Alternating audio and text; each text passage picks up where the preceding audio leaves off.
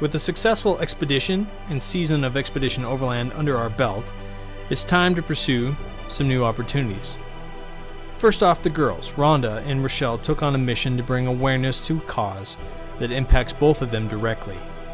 To bring awareness that one in four women are sexually abused by their 18th birthday. They kicked off their mission at the Fierce Women's event put on by Ex Officio in Seattle. From there, they started their fundraising. I want to be a voice for those who have not found theirs. My name is Rhonda Cahill. My name is Rochelle Croft. And I am one in four. And I am one in four. I choose to go after life.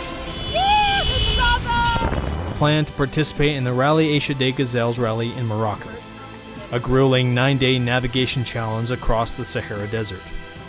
They ranked in the top 50, and we husbands and team could not be more proud. With our wives home and our final episode of the Alaska Yukon season online, it was time to again pack the trucks and head to Overland Expo in Flagstaff, Arizona. But first, we made a stop in Moab, Utah, of course, to shoot some promotions for General Tire and X-Venture trailers.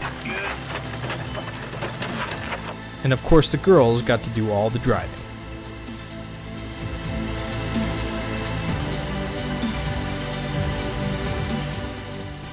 Our filming complete, we pointed our truck south to the much anticipated Overland Expo in Flagstaff.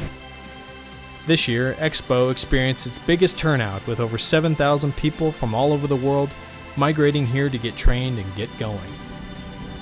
It's the place to get your hands on all that stuff you've been staring at online for far too long.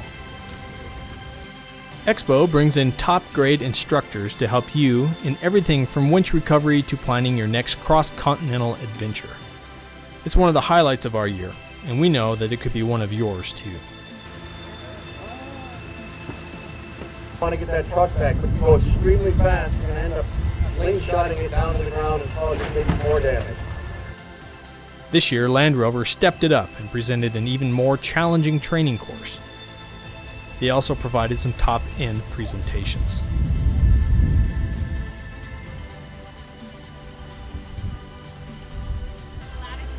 Rhonda and Rochelle were asked by the Overland Expo team to instruct classes on navigation and pull from their experience in the rally to teach others.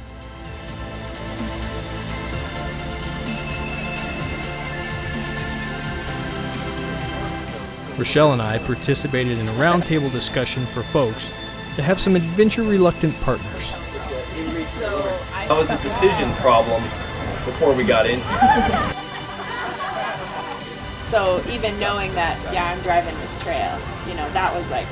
I just hope that we did more good than harm.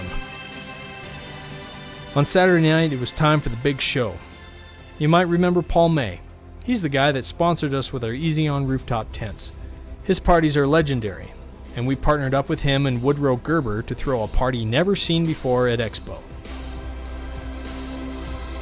The top of the world party was a celebration of our series and to debut the new album of this season's epic music.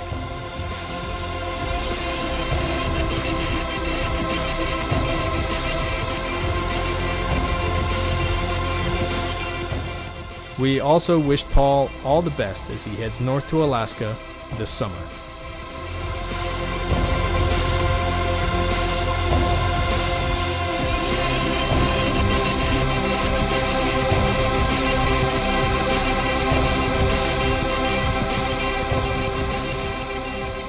The X Tour is officially on, and we look forward to hopefully catching up with you. So see you at the next town.